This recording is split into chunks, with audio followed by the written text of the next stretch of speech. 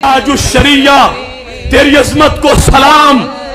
तुमने सुलह कुल्लियत के खिलाफ डट के अलमे जिहाद बुलंद किया।